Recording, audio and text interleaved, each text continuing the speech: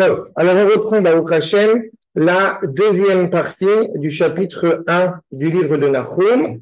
Donc, on avait évoqué l'idée de la cruauté qui devait être vis-à-vis, l'annonce de cruauté vis-à-vis de cette peuplade de Nineveh et puis de manière plus générale de Ashur, qui avait montré à quel point, encore une fois, vu un comportement exécrable, un comportement violent à l'égard de, euh, de la civilisation et particulièrement la civilisation qui nous occupe, combien il était effectivement nécessaire et impératif désormais eh bien, de, euh, de se battre, de la supprimer totalement, comme on dit, de la face de la Terre. C'est ce qu'on avait un petit peu développé la dernière fois, qui est une réalité, hein, une réalité historique et une puissance impressionnante.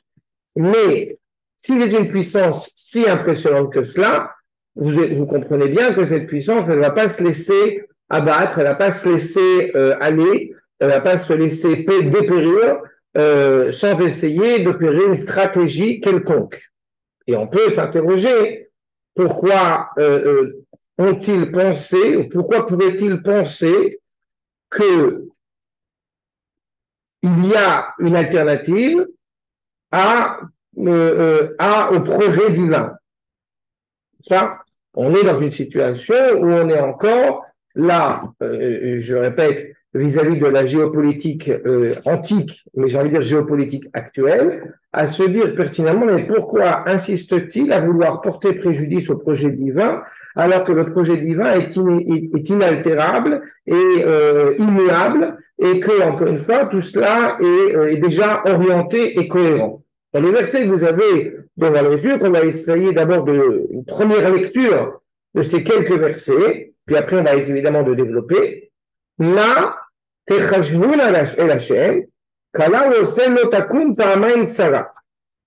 Verset 9, verset 7. Ma techajnou. Qu'est-ce que c'est que le Hachem C'est programmé, c'est organisé. Qu'est-ce que vous pensez? Qu'est-ce que vous êtes en train d'opérer comment osez-vous opérer une stratégie vis-à-vis de la Kadosh on essaye de voir l'aïeul, entre parenthèses. Il ne faut pas oublier que, euh, euh, on l'avait évoqué, le, celui qui est parenté avec cette ville de Hachur, Nimrod, n'est-ce pas? Qui va devenir le roi de Hachur. Vous vous rappelez que c'est lui qui avait mis en place les tours de Babel, puisqu'il devait y en avoir quatre. Et dans ces tours de Babel, l'objectif étant d'essayer d'affronter Dieu, puisque moralement, on est, euh, est, on est condamnable, puisque de toute façon, euh, voilà. Donc, on va essayer à la prochaine guerre euh, face à Dieu de faire une tour pour pouvoir l'affronter. Bah, on a un petit peu le même stratagème ici qui nous est dépeint et qui est une question posée par le prophète. Comment est-ce que vous pouvez penser une seule seconde que vous allez pouvoir, entre vaincre à quelle heure de D'autant plus que, alors peut-être pour confirmer ce propos, peut-être pour confirmer cette, pensée, c'est ce qu'il suit dans notre verset. L'otakun ta'amain tsara. Si l'otakun ta'amain tsara, c'est-à-dire que ta'amachat, oui, el kama. Ça, on a une réalité, on va essayer de comprendre qu'a priori, cet empire, une fois qu'il est tombé, il ne va pas se relever de nouveau. Est-ce que, historiquement parlant, on peut saisir cela? Une nation qui est totalement tombée et qui ne se relève pas. On va voir. En tout cas, est-ce qu'il est évidemment indiqué Puis, j'ai une question évidemment qui m'interroge, c'est quand on dit l'otakun ta'amain tsara, qui est la tsara? On a dans le Tanakh, de manière générale, quand on parle d'une guerre, alors on l'appelle Milchama. C'est une guerre que nous avons vaincue, que nous avons gagnée. Mais quand on parle d'un ennemi qui a réussi à nous porter offense, eh bien, on appelle ça Tsara. Donc, est-ce que quand on dit l'otakun ta'amain tsara, cela signifie que Ninvé, que Ashur ne se relèvera pas de cette guerre, ou il y a une autre possibilité que les, les raisons qui ont poussé Ashur à être aussi méprisable n'auront plus cours. On va voir. Ensuite, qui a Tsirin, C'est ou que qui cache, il y avait Shmanou. Pourquoi une troisième hypothèse que Ashur euh, change? Je ne sais pas, qu'est-ce qu'on signifie quand on dit l'otakum paramaim Sarah? Je peux, je peux donner déjà un aiguillage tel que je le pressens et que nous allons voir évidemment avec nos maîtres. Mais, ou alors on dit un empire, quel qu'il soit, ne se relèvera pas. Et dans ce cas-là, on peut s'interroger sur le, processus de l'histoire, avoir peut-être certains empires qui nous ont porté préjudice et qui, malgré tout, se sont relevés et ont continué à nous porter préjudice. Empire, ou ce que tu veux, etc. Euh, et dans ce cas-là, le verset est, étrange, puisqu'on on a vu, il y a, il y a, déjà des jurisprudences qui existent. Ou alors, on comprend qu'effectivement, eh bien, euh, euh, on voit des empires qui effectivement nous ont porté préjudice et sont réellement tombés et ne se sont pas relevés. De manière générale, tu vois bien qu'un empire, il continue à pousser, il continue à, il, ressurgit, et puis apparemment, on est arrivé à un point de non-retour.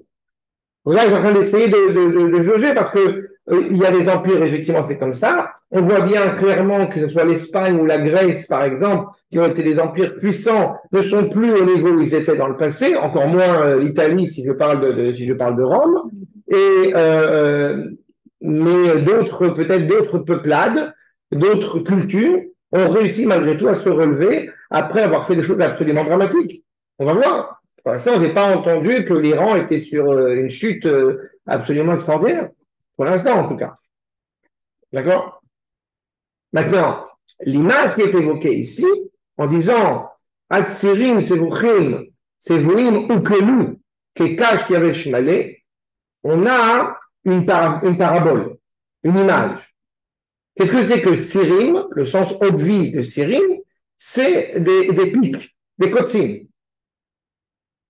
Ces euh, euh, justement, eh bien, c'est-à-dire qu'ils se sont coincés dans leur.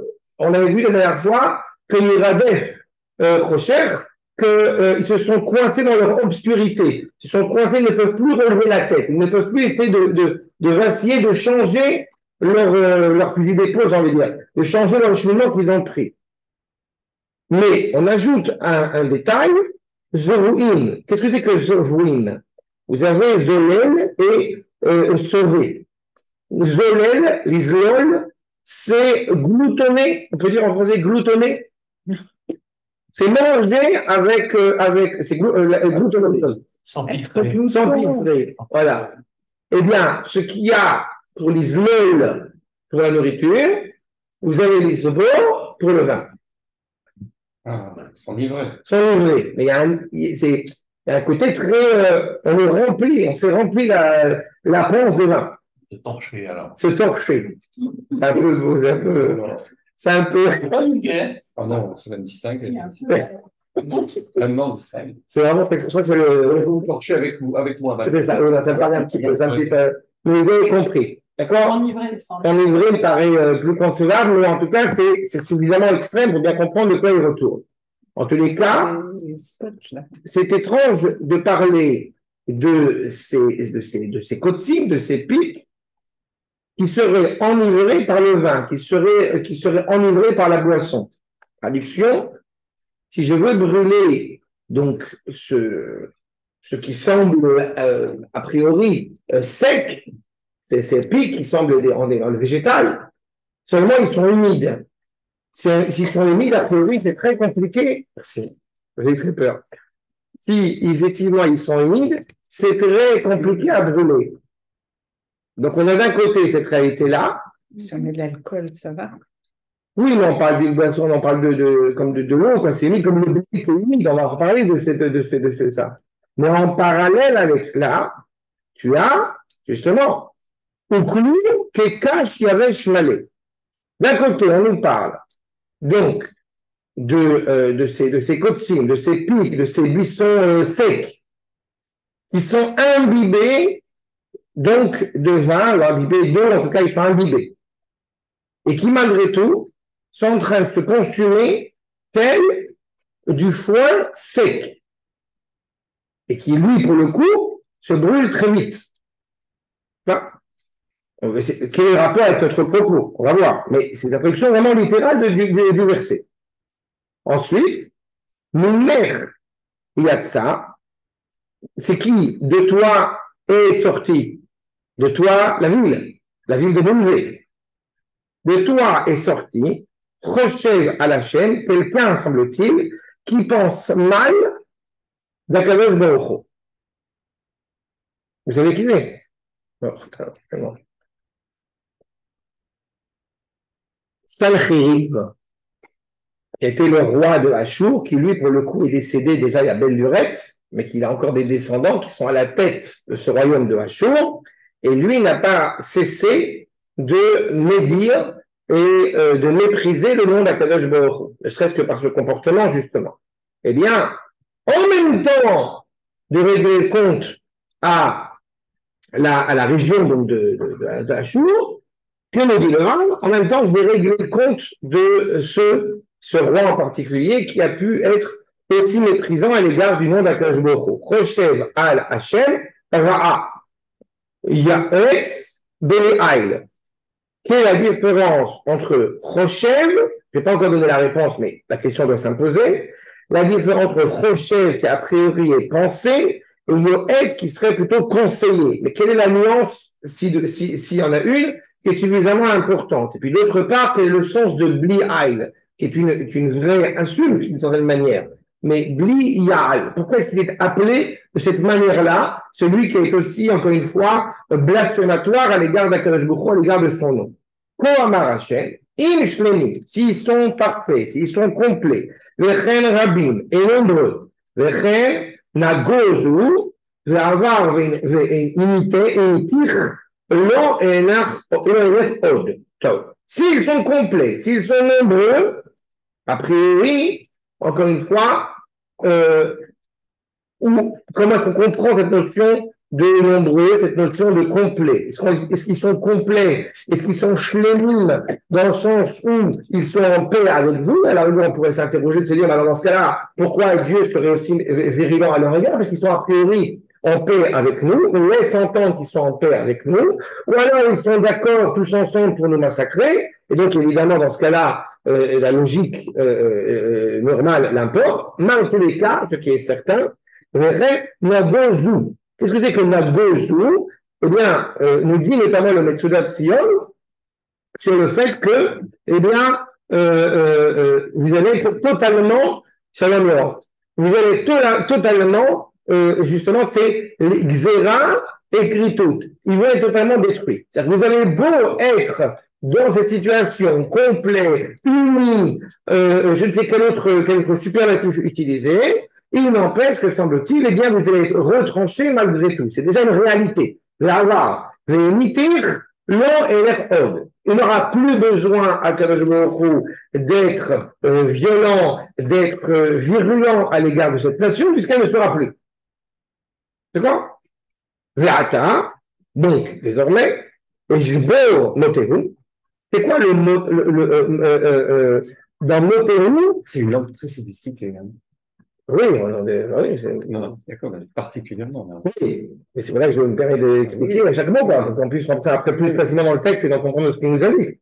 Enfin, Verata, donc désormais, et je bois Motero Mehalal. Qu'est-ce que c'est que Motero Mehalal Vous avez maté, n'est-ce pas, qui rappelle aussi cette notion, encore une fois, de, de sceptre. On a cette notion, encore une fois, royale, ta, ta grandeur politique, qui semble-t-il est sur toi, est en train de tomber. Ou Mosrotaïr, un attaque. Mosrotaïr, il faut que c'est Mosrot. Mosrot, c'est les, les, les, dans le, pour, le, pour le cheval qui ah. est aiguillé. D'accord? Les œillères, si je puis dire. Okay tout ce qui t'a indiqué, tout ce qui t'a orienté de telle manière que tu pensais, j'ai envie de dire, si je veux dire le propre mot, être plus fort, tout ça, je vais le couper. Comprenez que à travers cela, Akashboku est en train d'annoncer qu'il n'aura plus d'influence sur cette nation. Et vous comprenez ce que c'est-à-dire ne plus avoir d'influence sur cette nation? Il fait le libre choix, si je peux dire, à Baruch de décider que je ne vais plus insuffler de mon élan vital sur cette nation. Une croix sur eux. Une croix sur eux. Les abandonne. C'est plus qu'abandonner. Abandonner, c'est encore, c'est encore, c'est pas suffisant. Il y a un jugement. D'accord? Il y a un jugement qui est prononcé. Vous êtes condamné. Il est remis, quoi. D'une certaine manière, oui. S'il y avait déjà eu une alliance avec eux, il n'y a pas d'alliance avec eux, mais en tout cas, il y a une alliance avec la création en tant que telle. On a un rôle moral qui doit être tenu. Et ce rôle, encore une fois, a été totalement dévasté par eux. Mais plus que ça, non seulement il y a, est renié, mais surtout, l'objectif, on pourrait à la rigueur, euh, on, on consacre tout ce premier chapitre à l'annonce de la destruction de Ninvé et de Hachour, mais alors on pourrait en réalité, ben faire un décret, fin de l'Empire, c'est terminé. Non, il y a quelque chose qui relève quand même d'une certaine cruauté dans cela. On est en train de voir, et je répète, c'est Akadosh Baruch et pourtant dans les faits d'un œil extérieur, on voit les empires qui se battent l'un avec l'autre, avec pour objectif de faire tomber cet empire, et on pourrait dépeindre encore une fois ce phénomène historique comme étant profondément naturel, en ne comprenant pas que derrière tout cela, évidemment, il y a Akadosh Baruch qui est présent. Mais il suffirait peut-être de mettre à bas cet empire, et puis fin de la discussion. Non. Parce que ce n'est pas suffisant. Ils n'ont pas seulement blessé les créatures humaines, si je puis dire, les situations, ils ont blessé euh, euh, le monde entier. Toute la création a été blessée à cause de leur orgueil. Donc, en réponse à cela, bah, on va les enterrer, si je puis dire, sur le lieu de leur orgueil. Sur le, ils, vont, ils, vont, ils vont tomber là où ils ont voté. Et vous avez dans le verset suivant, le verset 14, Vetsiva alaych Hashem, Lo Izara Mishinecha. Quand on a un roi, souvent c'est arrivé, vous savez que le roi porte le même nom que son grand-père, etc., Louis et, euh, et d'autres qui ont parcouru l'histoire, rien ne restera de toi. De la maison, même de la maison de ton Dieu, je vais retrancher, je vais couper. Fessel donc une statue un, quel que soit l'idole qui était présent, assis, kivrecha, ki kalota. C'est très intéressant de rappeler ce, euh, ce point, que, à part la chrétienté, qui est quand même relativement moderne, mais on ne met pas la, sépulture de quelqu'un dans son, dans, dans, dans sanctuaire. Pas? La, pyramide, pour ne citer qu'elle, n'est pas un lieu de prière. Et encore, euh, voilà, c'est un, tombeau à, plein sens. Ils avaient cette idée de mettre une tombe dans une église, qui est devant ou vient, euh, n'est-ce pas? Mais à part l'église, c'est quelque chose qui est assez rare. Et dans l'histoire, c'est assez rare. On a toujours séparé le, lieu du culte euh, et, la mort. Et là, là où justement tu vas tirer de la, vie, de la vitamine selon tes propres idolâtries, de là, eh bien, va être en réalité l'impureté la plus totale, puisque la mort va y résider. Assis, qui kalota. Tu as totalement disparu. D'accord? C'est une première lecture, je dirais la plus, euh, euh, la plus euh, limpide, la plus textuelle, la plus textuelle, pour qu'on comprenne encore une fois et rentrer en plus profondeur dans le texte. D'accord? Vous avez l'accord numéro 2, avec le David Kimchi, Ma. D'abord, à qui s'adresse cette parole? Je l'ai énoncée. Je dis le Kimchi, le Radak, Amar Keneged Shem D'accord? On a bien compris, il s'agit de ces gens, quand il faut regarder à quel point la suite n'est pas une suite historique, mais une suite essentielle entre le livre de Jonas qu'on avait fait et la réalité de Nahum, encore une fois, qui assure la fin de cet empire. Le Metsudot, maintenant numéro 3, Ma Techajvoun répondra Atem al-Shenilve, Ma Techajvoun al-Hashem et aklaya. Qu'est-ce qui se passe? Dans la mesure où vous avez un embryon un embryon, en tout cas un, groupe, un groupuscule, qu'on a essayé de frapper, qu'on a essayé de réduire à néant, dû à sa, à sa, sa cruauté, dû à son immoralité, et à chaque fois, ils ont essayé eh bien de, voilà, de se relever et de poursuivre la quête et de poursuivre, c'était le cas dans le livre des Juifs, dans le livre des Shoftim, à travers l'histoire, jusqu'au moment il y a David Ameller. David Ameller, il a un petit peu fait le, il a un petit peu fait le tri, un petit peu fait de l'ordre dans tout ça, mais en tous les cas, on voit qu'un empire, quand il est aussi puissant, l'une de ses plus grandes difficultés, c'est d'accepter la chute, d'accepter qu'il ne retrouvera pas l'hégémonie d'antan. Et c'est ce que pensait Ninvé. vous pensez qu'effectivement Akash a décrété sur vous des choses absolument terribles, chez vous les Natsel Miyado, vous pensez que vous allez pouvoir y échapper, Deu Kikala Oselachem. Akash a décidé que cet empire n'a plus de raison d'être. Par conséquent, le dit Rachim, accord numéro 4, les Ninvé Vemalchei Ashur, donc à la ville de et au roi de manière générale de cette région de Ashur, je vous rappelle, c'est dans le Kurdistan, qu'elle à peu près aujourd'hui, la région du Kurdistan euh, là-bas, l'eau, vous n'allez plus vous relever de cela. Et là, effectivement, on a des exemples. J'ai cité l'Espagne tout à l'heure, on a cité la Grèce tout à l'heure. Euh, euh, aussi étrange cela puisse paraître, mais on appartient à une génération peut-être un, moins, un peu moins si je peux me permettre, mais on a entendu parler quand même de la Russie qui était une grande puissance. C'est-à-dire toi un peu moins par rapport à nous, tu veux Oui, bien que... On va le prendre comment? On a connu Napoléon, c'est ça? Comprendre. Non, mais on suit. Voilà. Ok. Mais je n'ai pas connu l'URSS, ça veut dire. Moi, j'ai été visiter la Russie du temps de Tchernenko. Ah, tu vois Avec le, rideau de fer. Ah, voilà. Moi, j'étais, moi, j'étais en, en, en, 89, les j'étais au collège pour aller, euh, pour aller, euh, pour aller euh, prendre une part de cette maturité. C'est ça. Un empire aussi puissant soit-il? C'est vrai que Poutine, il laisse entendre aujourd'hui qu'il est très puissant, évidemment, tout ça, mais de manière générale, c'est pas la puissance d'antan qui a affronté les États-Unis d'hier. D'accord? Et, l'Espagne encore moins, l'Italie encore moins, la France encore moins, l'Angleterre encore moins. On voit que ces empires-là. Donc, d'une certaine manière, il nous est clairement annoncé que oui, effectivement, vous allez tomber, mais vous n'allez plus vous relever. Alors qu'ils auraient pu penser, justement, c'est très facile. Je rappelle qu'on est dans une parole prophétique. Ça, énoncer ça alors que l'empire en question est quand même d'une puissance extraordinaire, c'est très compliqué à gérer. Hein? J'ai des, j'ai des, j'ai des, euh, des articles, des, des, enseignements, de, notamment du Rav, du Rav du Rav qui parlent de l'importance d'aller euh, euh, commencer à préparer le terrain en Israël pour les Juifs qui vont arriver de Russie, parce que la communauté juive de Russie va commencer à monter en, masse. Sauf qu'ils parlent de ça dans les années 50, 60, quoi. Donc on est loin du compte encore de, voir les Juifs qui arrivent comme ça en masse de Russie. Donc il y a évidemment les Chachamim, et si c'est vrai pour les Chachamim, je vais par rapport aux prophètes, qui ont cette vision-là.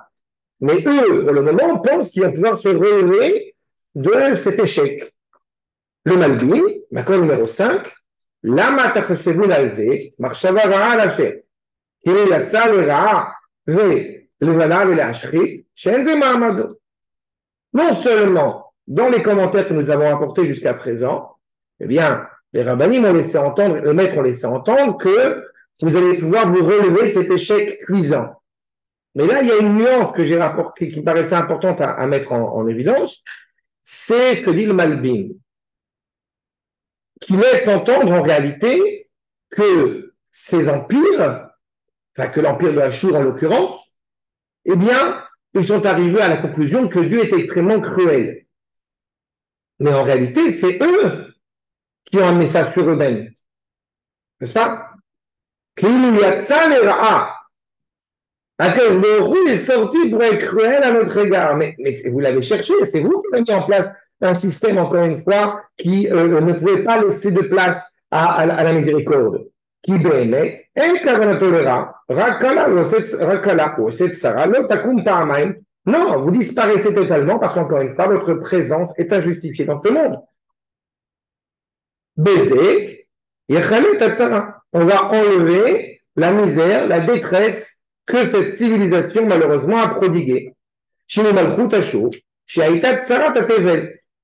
Vous voyez, le Rav ne dit pas Sarat Israël, ce qui est vrai, mais c'est Sarat Tevel. C'est le monde entier qui en souffre. Le monde entier souffre terriblement de ce mouvement, de cet empire, de cette entité qui n'a de cesse, euh, euh, encore une fois, que de faire du mal autour de lui. Et donc, à l'aider à il supprime totalement encore une fois, cette réalité qui ne va pas pouvoir se relever. Ah, il y a Laurent qui a dit une question, pardon, j'ai pas entendu, j'ai pas vu. Le son est très mauvais. Ah. Tu m'entends, Laurent, ou pas du tout? Oui, très, oui, mais euh, il y a de l'écho, enfin, le son est très mauvais, j'ai beaucoup de mal à suivre. Ah, tu veux Donne-moi le micro. Tu je vais rapprocher le micro. Tu m'entends mieux comme ça? Ah, beaucoup mieux, oui. Ah Parce y a l'ordinateur. Combien est-ce que Ok, j'ai changé. Merci de, merci de ta remarque. Khazak. D'accord? Donc, on comprend bien, encore une fois, que cet empire, effectivement, va tomber et ne va pas se relever. Chez Gam, chez Acham, Apelazou, Kama, Paramachat. Mais, que même si effectivement il est tombé une fois, on a vu avec le Malbim au tout début de notre étude, euh, le, premier cours, qu'il peut tomber plusieurs fois. En l'occurrence, c'était une guerre qui s'est, étendue, qui a eu des, pauses et qui s'est réveillée de nouveau. En tous les cas, même si effectivement il tombe une fois, alors Otashur, puisque le takum pas mal, c'est qu'il va y avoir quand même un sursis qui va naître. Tashuv et Techarev Shenit, Alidé Nebuchadnezzar, ou Pam Shenit, le takum. Nous dit clairement le Malbim qu'en réalité, pourquoi est-ce qu'il pourrait penser une seconde qu'il va pouvoir être épargné et être sauvé? On a déjà été sauvé une fois, on sera sauvé une deuxième fois. Mais là, Akazbukhu annonce clairement que tu ne te relèveras pas. Est-ce que Nabucodonosor était, euh, je dirais, d'une noblesse meilleure que celle de, de Sanchérib ou de la royauté de Hachour? Ne nous le prenons pas. Vous rappelez que la petite fille de Nebuchadnezzar, elle avait un vague espoir que la royauté de Babylone va se relever de nouveau, jusqu'à ce qu'on lui coupe la tête. c'est Vashti, fameuse peau de vache, pas dans la Megillat Esther. Donc on voit qu'encore une fois, ces empires qui se sont succédés ont toujours été, c'est le, le, verre dans la pomme, quoi, ont toujours été malheureusement euh, piqués d'orgueil. Et cet orgueil les a menés de toute façon à leur perte. Dans tous les cas, concernant Ninvé, concernant Ashur, Rak Pa'amachat, Takum Sarah, le Pa'aman. Ils vont se relever une fois, pas deux fois. Donc, vous pouvez me dire, ok, alors on a compris, voilà, on a un empire historique qui est tombé, qui est clairement tombé, qui n'a pas se relever. Mais simplement, il y a un détail qu'on doit toujours avoir en tête. Pourquoi est-ce que le livre de Nahum a été inscrit dans le Tanakh, n'est pas un cours d'histoire? Pourquoi le livre de Nahum a été inscrit dans le Tanakh si on parle d'un événement qui est, ça y clos? D'autant que il n'est pas dans n'importe quelle partie du Tanakh, je rappelle, il est dans la partie des prophètes. Ce qui implique l'actualité constante des propos qui sont tenus. C'est pas seulement se comprendre la manière dont beaucoup gère l'histoire et amène la perte à tous ceux qui voudraient, encore une fois, nous nuire ou nuire au monde de manière générale en réaction au peuple juif, mais c'est que, semble-t-il, c'est d'actualité. Deuxième problématique, on voit bien, on a vu ces empires qui ont totalement disparu. Et à l'inverse, on voit des empires qui sont effectivement tombés, mais qui se sont relevés ne sont pas totalement tombés. donc comment est-ce qu'on comprend ça, surtout à notre génération Nous dit le Ramak Zali, d'accord numéro 6. Arei, kama parami, asitra achra nafla, ve'achar kar kama, venit gabra à la kedusha. On voit, on dirait le côté, on, pourrait dénommer ça le côté obscur de la force. Le Sitra c'est ça. Je n'ai pas d'autre traduction qui soit mieux que celle-ci que Star Wars, mais, mais c'est le côté obscur de la force qui est tombé. Et une fois qu'elle est tombée, elle a réussi à se relever et affronter, supplanter la dimension de sainteté. À part évidemment actuellement où on a, ça y est, il n'y a plus de Ramat, il n'y a plus de Fatah, c'est fini, on a supprimé Gaza. Voilà. Non, c'est pas vrai.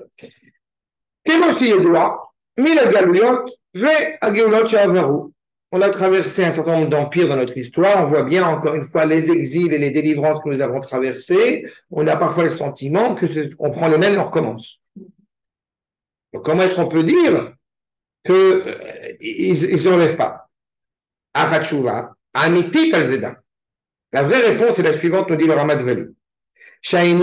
Klipa vous avez en réalité quelque chose qui a apporté, que ce soit Achour, que ce soit la, Babylone, que ce soit la Grèce, que ce soit la Perse, elles vont essayer, encore une fois, de, de vaincre cette éternité d'Israël, et donc l'éternité de la morale et du bien.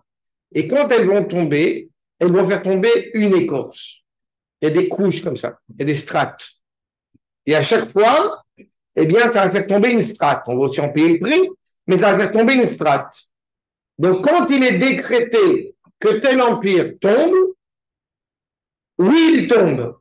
Parce que la force qu'il a évoquée, qu'il a mis en place dans l'ordre de la nature est tombée. Mais on n'a pas encore fini. Elle ne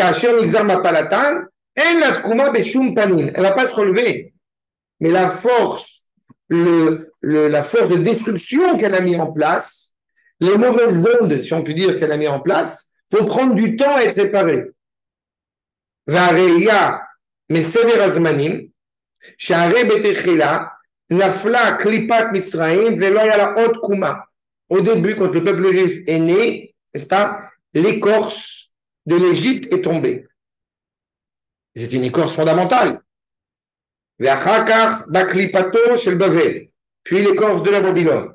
Elle aussi ne se relève pas. Ulvasov. Vous avez les deux dernières couches, les deux dernières strates les plus difficiles à se libérer. D'accord? On est en plein dedans. Mais c'est les plus difficiles, c'est les deux dernières. Nous dit le Ramad Vali, Louvasov, Ba Aklipa chez les Dor, Ishmael. Pourquoi on nous annonce, pourquoi on nous parle de Nineveh et du roi de la royauté de Hachur pour arriver en réalité à comprendre que toutes ces écorces qui vont tomber, elles vont aussi tomber. On se rappelle de Yaakov Avenu qui voit ces anges, n'est-ce pas, qui qui montent et qui descendent, qui descendent et qui montent parce que c'est par rapport à Israël, et l'inquiétude de Yaakov, est-ce que la royauté de Edom ou même de Ishmael, si je prends selon le Ramchal, est-ce qu'elles vont redescendre? Réponse oui. Mais on a l'impression, quand on voit un certain nombre d'empires et leur force et leur puissance inégalée à travers l'histoire, qu'elles ne tomberont pas. Eh bien, aussi difficile que cela puisse paraître, elles tomberont. Toutes ces écorces vont tomber. Parce qu'il ne peut y avoir, encore une fois, que dans un monde animé par la sainteté, que la sainteté qui règne et qui est présente dans l'histoire. Il faut qu'on en soit conscient. C'est du Corse, du monde qui n'est pas Israël, en fait. C'est En tous les cas, qui n'est pas animé, parce qu'on sait très bien qu'on peut ne pas appartenir à Israël en tant qu'individu et être une personne aussi morale, pas Mais en tant que nation, comme elle s'accapare, c'est tout le problème, la fierté nationale chez les nations, elle amène au détriment du, respect qu'on doit avoir à l'égard d'autrui. Ça veut dire qu'une écorce, c'est une nation Non? C'est une force que telle ou telle nation va apporter au monde. D'accord? Le problème, c'est que quand tu as, euh, justement, c'est le, bon mois pour en parler, quand tu as un, un comment dirais-je, quand tu as une démonstration culturelle qui est importante, scientifique, politique, qui est importante pour faire avancer le monde, hélas, quand elle vient des nations, elle est rarement gratuite. C'est-à-dire qu'elle vient au nom d'un orgueil national mal placé. Elle ne vient pas pour améliorer le monde. Et par conséquent, eh bien, c'est ce, que j'appelle une écorce, c'est ce que l'on appelle une écorce. Parce qu'il ne pourrait pas y avoir de réalité sans la présence ou sans la volonté d'Akadosh Baruch Ça, c'est un postulat. Mais dans cette volonté-là, on essaie de la recouvrir, cette force qu'on peut avoir pour faire avancer le monde, on essaye de la recouvrir par des forces maladroites, par des forces contraires. D'accord? Et c'est ce qu'il nous dit ici. Les corps, justement, de Edom et de Ishmaël. Les gamis Paul, mais même aussi elle va tomber.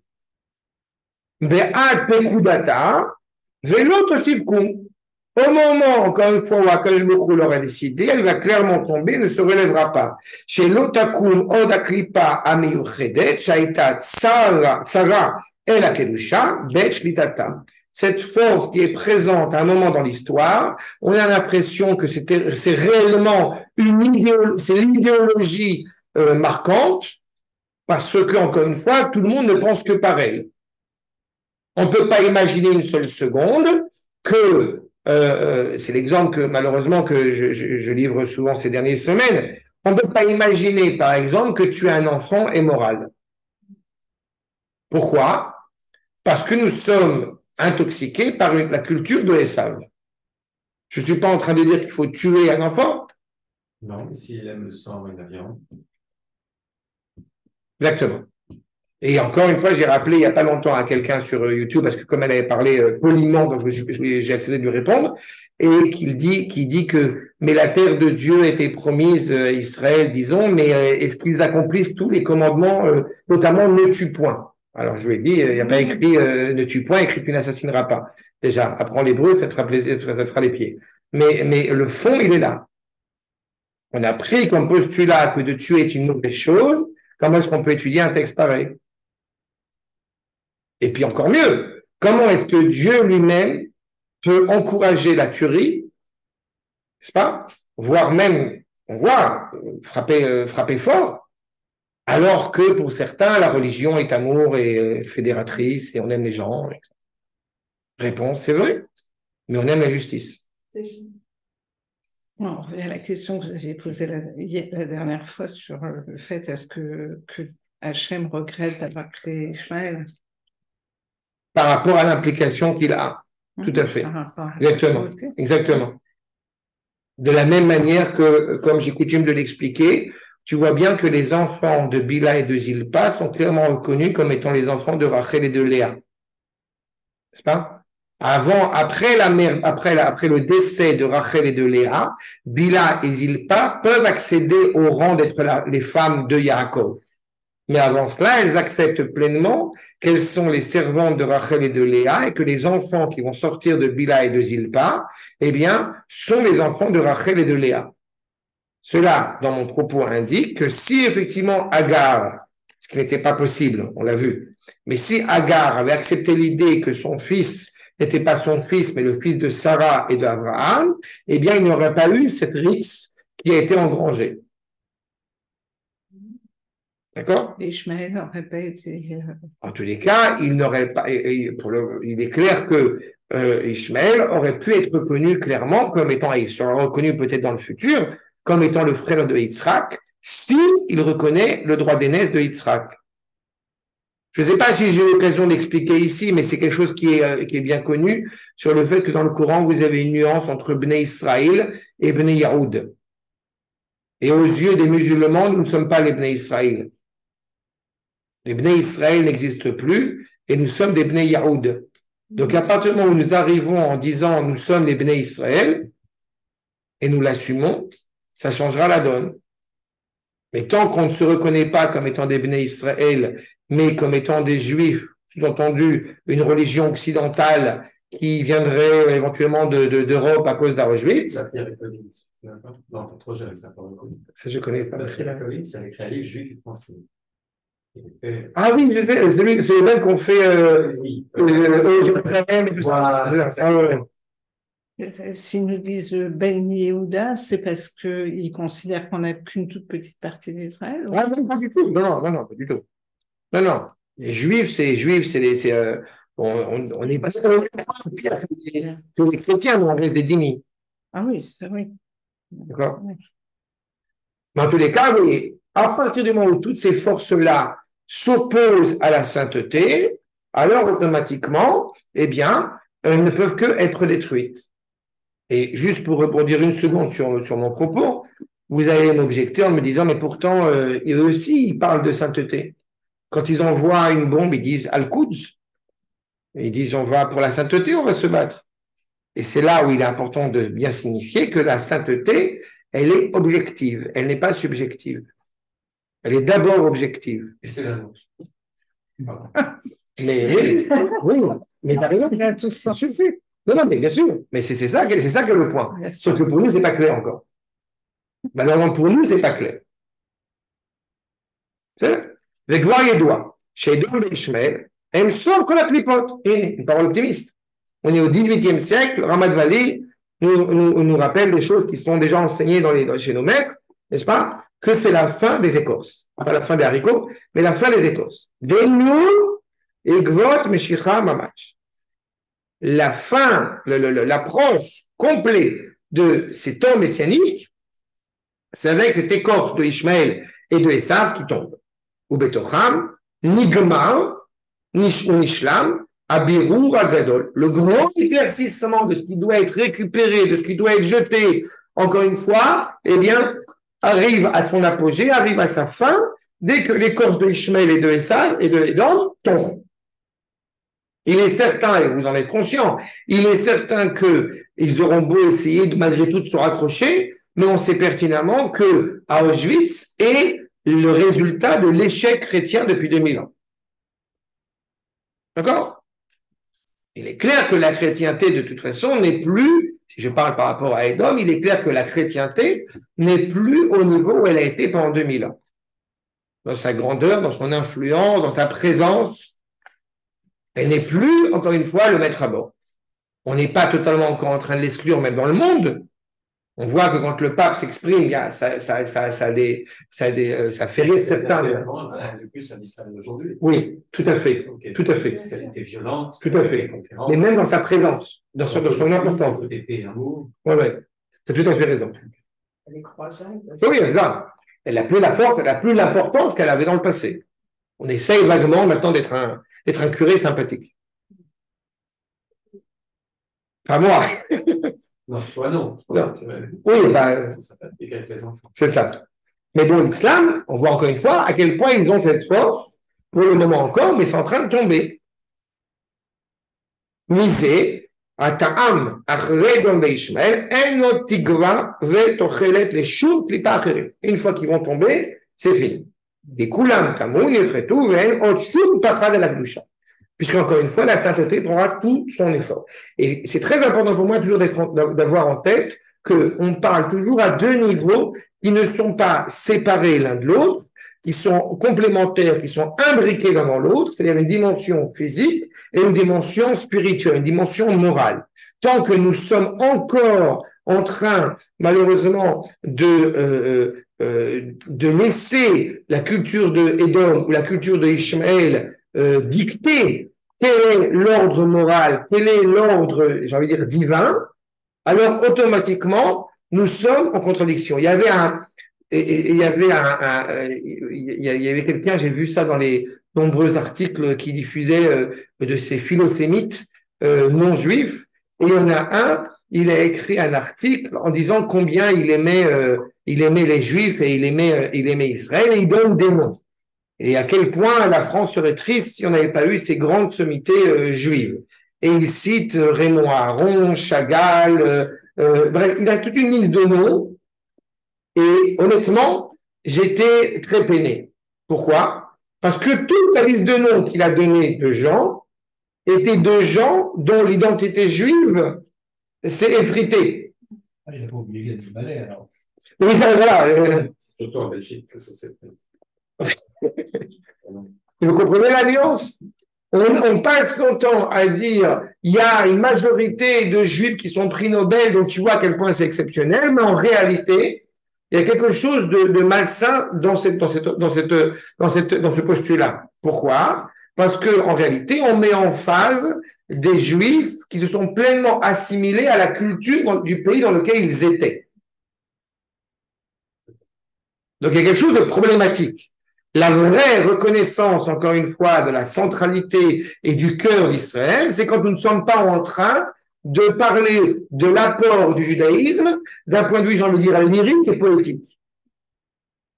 Mais honorer la pensée juive dans son essence. Ça, c'est depuis Israël. Exactement.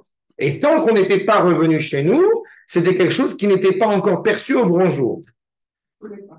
Qui était dans Beth Midrash on nous ait dit ou pas dire, on leur envoie des textes qui sont anciens, mais en tous les cas, qui ne sortaient pas à l'extérieur. Maintenant, il faut le dire. Ok? Ça. Donc, c'est Kotsim, c'est Sirim, comme on a dit. Vous avez le macron numéro 7. Je n'ai pas encore dit qui sont les, les épines. Enfin, on comprend, mais on va voir comment est-ce que les maîtres l'interprètent, le comprennent. Sirim, min kotsim.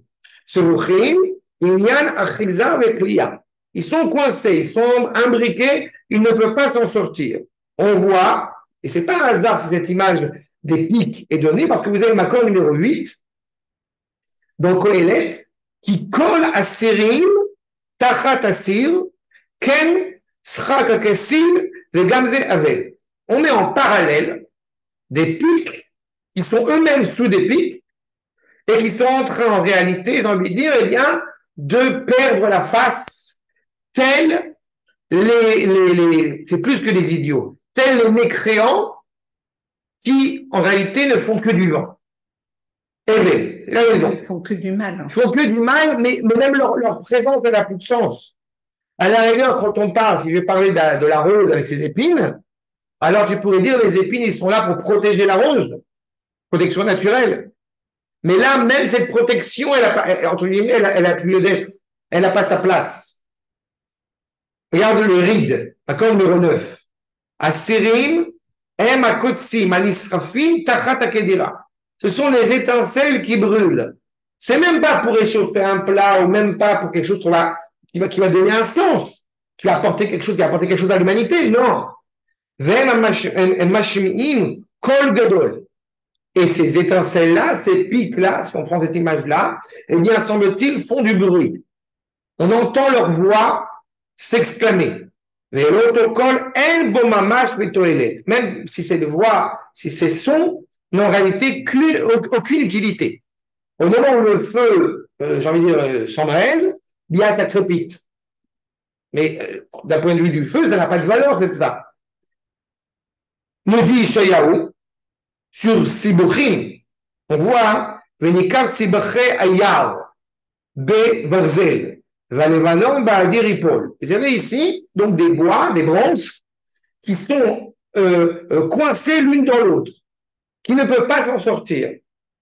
Donc on a ces épines qui sont coincées, qui n'ont aucune valeur, qui euh, peuvent éventuellement faire du mal ponctuel, puisque c'est, comme je dis, les épines, les pépites, la manière qui, qui, brûle. De qui s'agit-il? Première compréhension grâce au Rav David Kimchim, accord numéro 11, Machal à la. Les grands ministres, les gens importants, les gens qui sont qui ont le sentiment que euh, sont le centre du monde. Ils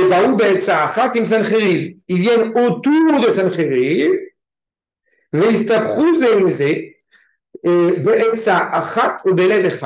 et sont en train, en réalité, eh bien, de nuire à la possibilité du retour en étant de mauvais conseillers, j'ai envie de dire. Ils ont le sentiment que c'est eux qui, quelque part, mènent la danse, alors qu'en réalité, ils ne représentent rien. Et pourtant, ils sont, euh, semble-t-il, euh, admirés. Ils sont admirés par la foule, puisqu'ils sont près du roi. On a des gens comme ça. Sans citer de nom, on a des gens comme ça en politique. C'est l'ONU. Ah, j'ai pas pensé. L'ONU, tu viens d'écrire l'ONU. Des épines enchevêtrées qui servent à rien. Qui servent à rien. D'accord. Ils sont coincés l'un avec l'autre en ayant le sentiment que c'est eux qui font avancer l'histoire, alors qu'en réalité, ils la font reculer et ils la font clairement, encore une fois, tomber en désuétude. Béhod, poursuit ben, justement le Metsudot, Makor numéro 12. Et c'est des gens forts, des gens puissants. Mekubatim Yachad, Daguda Achat. Ils sont tous réunis ensemble. Pour, une fois, promouvoir, j'ajouterai, j'extrapolerai, pour promouvoir le progrès, pour promouvoir l'avancement dans le monde. Mais ils sont encore une fois très forts, ils sont unis mais ils sont coincés dans, leur, dans aveuglement à ne pas saisir le sens de l'histoire qui est mis en place. Et pour le coup, ils sont enivrés, enivrés d'orgueil, enivrés de tout ce que vous voulez. C'est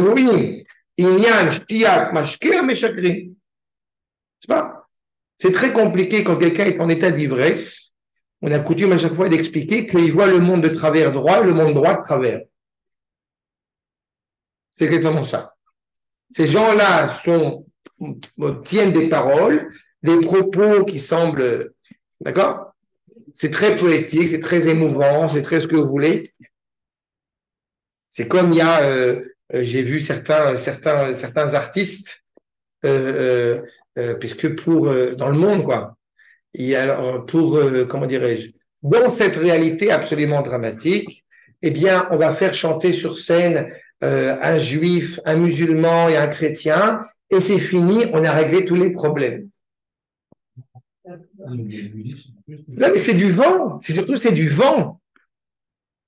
Et pourtant, ils sont, voilà, on a, on a, on a fait quelque chose d'absolument spectaculaire et grandiose. On s'enivre de cette réalité-là. Et les médias sont très doués pour ça, évidemment. Vous avez, dans l'accord numéro 14, le Metsuda David, כאשר המשקרים יהיו עוסקים בשכרות היעים, פתאום יהיו נאכלים. Ce qui est d'autant plus dangereux, c'est qu'ils sont dans cet état d'ivresse et ne se rendent pas compte que, à cause de cet état d'ivresse, ils ne sont pas capables, eh bien, de penser consciencieusement à la réalité. Shalom, shalom. Ils ne sont pas conscients de penser à la réalité, encore une fois, digne de ce nom. Ils vivent dans un leurre. On a eu un, attentat en France. Qu'est-ce qu'on fait le lendemain? Eh bien, on va prendre un, café, on va prendre un whisky au café. Pourquoi? Parce que nous allons nous révolter contre ça en buvant un, whisky au café. Ce que je veux dire par là, c'est qu'encore une fois, quand il y a, on va pas s'empêcher de vivre, c'est pas ça le fond du problème. Mais quand on a en face de nous une réalité qui est absolument abjecte, politiquement, moralement, on ne peut pas répondre avec une, une comment dirais-je, une, une joute verbale et on a réglé tous les problèmes. Et c'est ça ce qui se passer. Ils sont motivés, enivrés à s'écouter parler. Ils sont enivrés par cet état d'orgueil, encore une fois, qui ne peut pas mener la solution, encore une fois, au monde. Et du coup, on comprend pourquoi est-ce que d'un côté, ils sont effectivement en état d'ivresse, qui a priori prend énormément de temps pour mettre, euh, pour brûler, pour mettre fin à cette souffrance, parce qu'ils sont tellement pas conscients du problème. Mais d'un autre côté, exactement. Mais l'implication, comme tu le comprends, c'est que historiquement parlant, ça peut prendre du temps. Ils sont déjà perdus. Pourquoi c'est une prophétie Pourquoi c'est une prophétie en fait? euh, En fait, pourquoi c'est une prophétie? Ah non, regarde la question que je vais répondre, c'est pourquoi est-ce qu'on parle de cette réalité de Hachour et de Nineveh dans un livre qui a été, oui, fixé dans le canon biblique, alors qu'à priori, c'est un événement passé? Réponse, c'est que c'est pas un événement passé. Réponse, grâce au Ramad Vali, qu'en réalité, sont des écorces qui tombent l'une après l'autre pour nous faire comprendre l'essentiel. Mais d'un autre côté, tu as tout à fait raison, étant donné qu'ils sont appelés tri c'est les petits prophètes, où l'expérience prophétique est moindre que dans d'autres ouvrages, on l'a vu avant. Exactement. Mais il n'en demeure pas moins que pourquoi est-ce qu'on parle effectivement de ces, euh, de ces pics qui sont, euh, qui sont, semble-t-il, enivrés ou de ces grains de blé qui sont totalement secs et qui par conséquent brûlent au plus vite, c'est ce, ce, cet, cet oxymore entre ces deux réalités, eh bien, ça montre un phénomène de société, de cette société qui est profondément ennemie, ça montre encore une fois l'ambivalence dans laquelle ils vivent. C'est-à-dire que quand il y a une guerre, un empire est capable, a priori, de se dire, je comprends que ça va mal, je vais me battre pour retrouver mon honneur. Mais d'après ce que nous voyons ici, il est tout à fait envisageable que cette même société ne soit même pas consciente de la problématique. On se rappelle avec Abraham, quand vous avez dit tzadikim au moins à Sodome et Gomorre, il y a une chance de sauver la ville. Et il n'y a plus. Non seulement il n'y a plus, mais ils ne sont même pas conscients du problème. C'est pour ça que d'un côté, ils vont avoir du mal à brûler, a priori, qu'ils sont dans cet enivrement, donc ils sont persuadés de, vivre encore une fois de la délectation euh, euh, ponctuelle et constante, dire, de, la vie. D'un autre côté, eh bien, ils sont brûlés assez rapidement. De qui parle-t-on? On a dit les ministres importants, etc. Le Hacher Akadosh est beaucoup plus clair, puisqu'il nous dit, Macron numéro 15, Beagia Eshapuranout, ce sont les gens, vous remarquerez qu'il n'y a pas écrit seulement les gens qui fautent, on parle de Rechaim. Vous être conscient qu'il n'y a pas assez longtemps que ça, vous avez des députés, je pense à la France une fois de plus, et vous avez des députés qui, apparemment, ils ont montré le film ils ont montré un film absolument terrible sur ce qui s'est passé à Gaza, euh, ce qui s'est passé à Gaza, ce qui est passé malheureusement pour, Israël. Et il y a des députés qui ont dit c'est un, c'est un, c'est un, c'est un, une propagande, c'est un montage. C'est fou. C'est impressionnant quand même. C'est ce que j'appelle rachat. Vous avez quelqu'un qui faute, qui s'est trompé, qui dit je me suis trompé. Mais là, on n'est plus dans cela. On est dans une réalité totalement immorale et on récuse de voir, encore une fois, l'honnêteté, de voir la, de, voir, de voir la droiture, l'exigence d'une droiture intellectuelle. J'ai parlé d'enivrement, où je rappelais que quand on, le, personne ivre, elle voit le monde de travers, quand il est droit, elle voit le monde droit de travers. Donc il ne peut pas, encore une fois, s'en sortir puisqu'il est ivre de sa bêtise. Pas? Euh, Comment c'est euh, en orbite? Un jour, on mettra les ponts sur orbite. Voilà. D'accord? Ben voilà. Vous avez, euh, euh, c'est au diable, dans euh, Touche pas au Grisby, avec euh, Jean Gabin, euh, Sroto Yaganaleno. Okay. Jean n'a pas. La bêtise, à quel point elle, elle empêche de voir la réalité.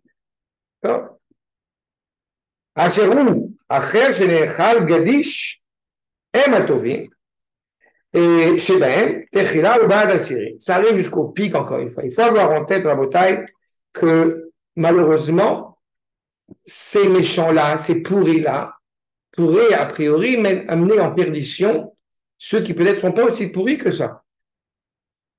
On connaît les innocents, les victimes collatérales, etc. etc. Là, il semble qu'au XVe siècle, al Kadosh a déjà anticipé notre question puisqu'il nous dit «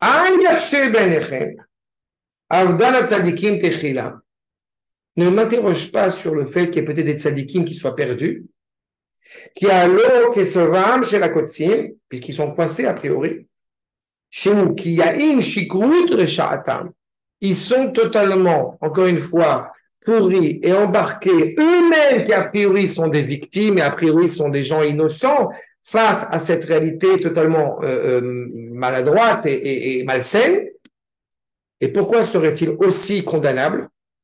Et pourquoi serait-il aussi frappé? Asher la Pourquoi?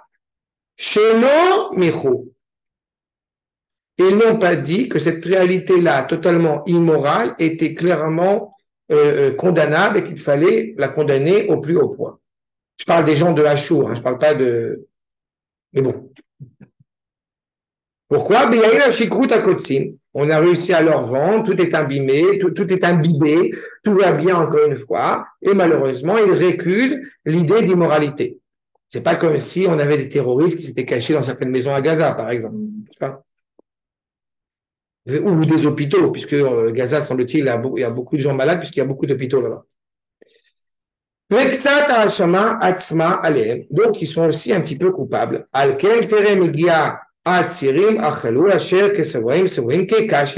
Du coup, tout le monde, de dire, tout le monde va morfler. Tout le monde va prendre, tout le monde va, encore une fois, brûler face à cette immoralité. En tous les cas, l'idée de la nation, de cette nation-là, va disparaître totalement. Je voudrais juste attirer votre attention, on va s'arrêter là, on reprendra la prochaine fois pour, euh, pour Nahum, parce que bon, prochain pour commencer euh, Netzach.